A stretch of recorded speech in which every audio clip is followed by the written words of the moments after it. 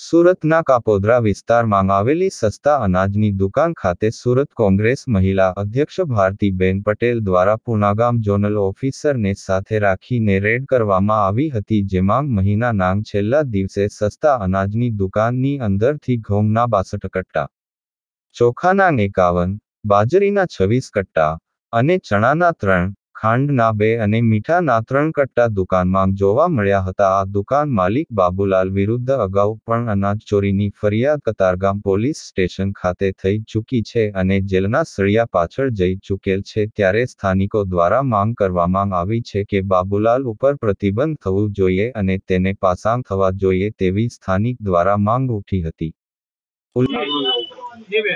હું ભારતી પટેલ, સુરત કોંગ્રેસ મહિલા પ્રમુખ અને કરંજ વિધાનસભા કોંગ્રેસ ઉમેદવાર વિધાનસભાના.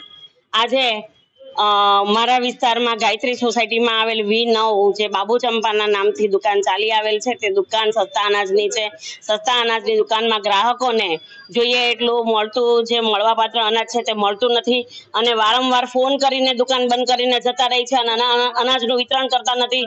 છેલ્લા ત્રણ દિવસથી દુકાન બંધ છે.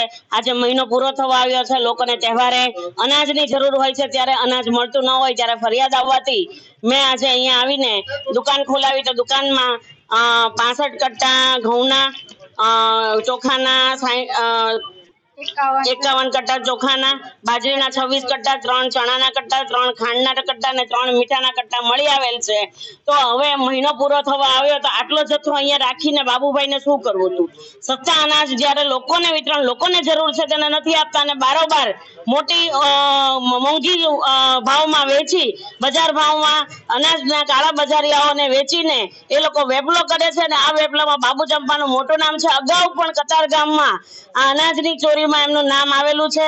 વારંવાર એનું નામ આવવા છતાં પણ આની ઉપર કાર્યવાહી કેમ નથી થતી? અત્યારે સચિનમાં જ્યારે થયું ત્યારે એ લોકો પર પીબીએમ થયું છે, તો આ બાબુ ચંપા પર પણ પીબીએમ થવું જોઈએ અને પાસા થવી જોઈએ એવી મારી માંગ છે.